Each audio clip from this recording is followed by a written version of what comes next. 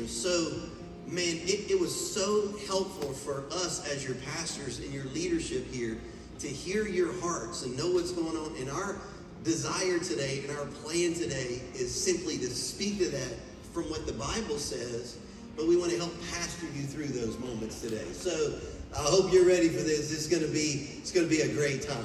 So uh, let's let's learn and introduce our panel. So we're going to start over here with the unknown. What, what's your name, sir? Yeah, yes, yeah, yeah. My name is Bernard Scott, and I have the privilege of being the campus pastor here at Lakewood Ranch.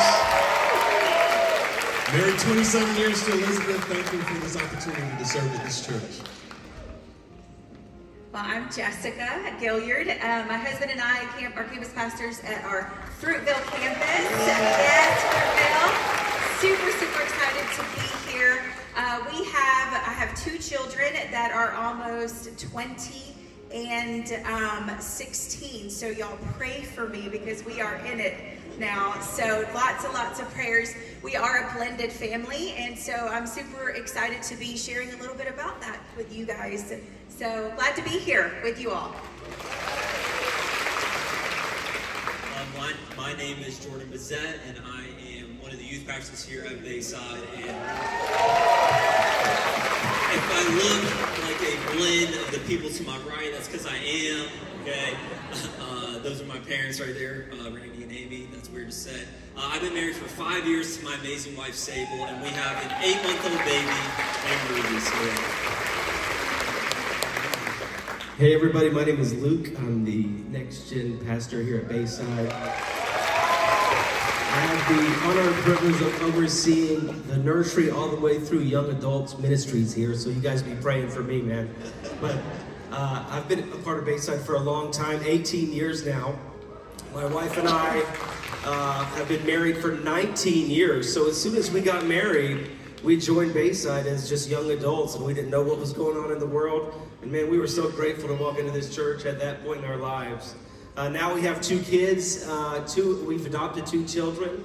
Uh, our son Mace is 11 years old, and our daughter Ayla is five years old. So, like I said earlier, pray for us, okay? You were a mess when you showed up too. That's for sure. You're welcome. Okay, so you guys ready? We're gonna we're gonna jump into these questions. We have some video questions that were submitted, so we're gonna we're gonna have uh, we're gonna have that as well. All right, here's the first question. How do I know that I found the right person to move forward with in marriage and in my faith walk with God? How, how would you know uh, that it's the right person or it's time? Um, I think I'll answer that for us.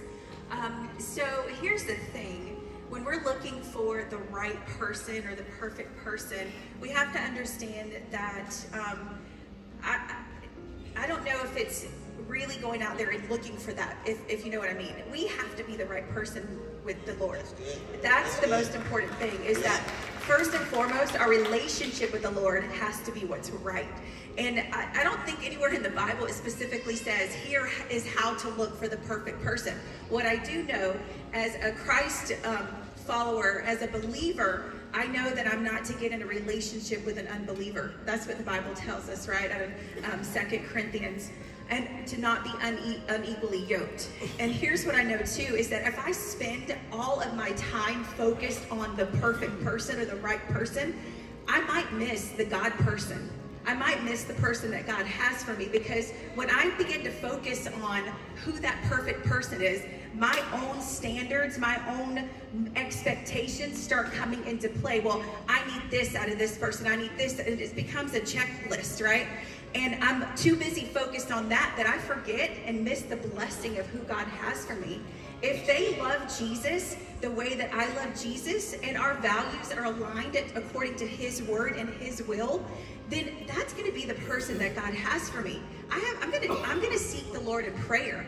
I'm going to be I'm going to listen yeah. for his voice and what he tells me and I'm going to be obedient to that. But I'm going to set my, myself, I'm going to surrender myself, I'm going to die to myself, and I'm going to listen to what the Lord has for me because I don't want to miss out on the blessing. I think about my, um, when Willie and I first met, Um, and I, I wasn't looking for the perfect person. I wasn't looking for the right person, but I knew God had brought him to me. And so 14 years later, here we are with an incredible family. So I just want to encourage you to be the right person for the Lord, to, to solidify your relationship with the Lord first and foremost. That's a great, that's a great call. Also, don't look for somebody that can help you and serve you. You be on the look. I'm supposed to add value to them, that you complete them. Don't just look for, because that, that's selfish, and love isn't selfish. So, uh, how can I add value to them? Can I just add a, a, quick practical thing that Randy and I did, and it really helped us, is we were dating for a while, and then we decided to fast each other for a month. Knew I could live with him, but I didn't know if I could live without him. And so it was during that season that, I, that we just it solidified our love for each other, and that we knew we were meant to be together. It gave them, it gave a season for our emotions to die down, because we weren't, you know, just enamored in love with each other. The emotion side of it, and seek God. Is this really the right person? So, yeah. All right. The next question is, how do you bond and blend relationships? with fostered and adopted children. I'll jump. You looked right at me when you. adopted children. She, she gave me the bombastic side eye. She's like adoption and fostering. Um, I'll jump on that one. Um, adoption and, and, fostering it really is a gift from God. It it's a reflection of what He does for all of us. He adopts all of us into His family through our faith in Jesus, and it really is such a gift. I think of. Uh, um, Ephesians chapter 1, Paul uses language uh, that says adoption to sonship.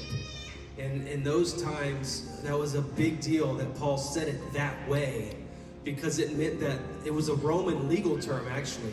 It meant that when someone was adopted, they got every right, every inheritance that a biological kid would have had in that place. So God does the same thing for us. It even goes on to talk about inheritance and all these things that God gives us as we enter into His family. So, to answer the question, I would say when we're when we're adopting kids and fostering kids, and if God's knocking on your heart and and and, and kind of uh, nudging you to do that, I would encourage you to lean into that because there's just speaking from experience, I've learned I can't uh, express the time we have how much I've learned about God's character.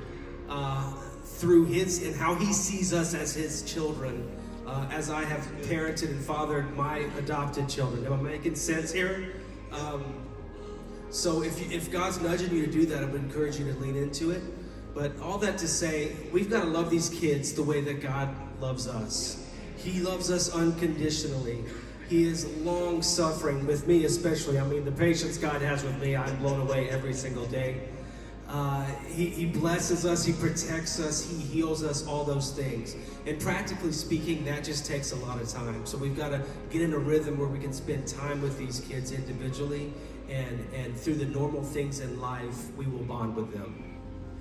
So can I can I just ask a follow up question because uh, I think this is important to the church and to the kingdom of God, taking care of widows and orphans. You know, that's that's uh, even Paul said that. I mean, that's true religion. So we're talking about foster kids here and adopting them or, or, adopting children as well. How did you get to the place where you even started praying to think about that? Is God calling us to that? Because our, our church is loaded with a lot of people, and so perhaps there are families here that could be a huge blessing uh, to these foster kids. And I think we need to step up our game a little bit. I mean, we we had an incredible thing that happened uh, several months ago when Roe v. Wade was turned back to the states. Okay, and everybody's like, oh, that's great because the sanctity, sanctity of life. But that means we need to be the people of God that want to step up and solve that problem, which we need to be able to take care of kids in these situations. Okay. But I know that that's a really hard thing to do. Where did that start for you in April? Um, okay, so we when I was in fourth grade, I went on, on a missions trip uh, with my parents, and um, we were in Grenada. I don't remember how long, I think it was two weeks. And while I was there at that age, God told me it as a fourth grader. You will adopt a kid from Africa someday. Now, as a fourth grader, you go, okay, well, you, you almost don't even process that kind of a thing, but I'm, I'm here to tell you there is no junior Holy Spirit Holy Spirit is talking to your children today. And as a as a 30 year old, I was 30 at this point, 29. Uh, I saw that all come together in my life all those years later, and then saw miracle after miracle happen uh, to make that come through. That was a crazy experience, and uh, you guys were at the airport when we landed in Tampa. That was all so miraculous. Only God's hand could have been on it. So I guess when, like I was saying earlier, when God nudges you, when He shows you something, lean into it. Um, don't let fear stop you from at least walking through the door and exploring it. There are amazing families in this church. We have amazing partnerships uh, here at Bayside with organizations that help kids in these scenarios. So please, please reach out to us. We'll we'll get dinner with you, whatever, just to talk through all the things. There's a million questions that come up when you when you're thinking about adopting. It's like, well, how do you even pay for this? And the state and out of the country or in the country and the, the birth parents and all the things. But man, God is bigger than all of it, and He has a way of, through providence, working it all for the good. Yeah. So many cool things come from this stuff. Yes. So if you're interested in this, pray about it, but then give us a call. We have a lot of partners, a lot of people we work with, and you can begin to gather information on that so you can have real prayer and hear from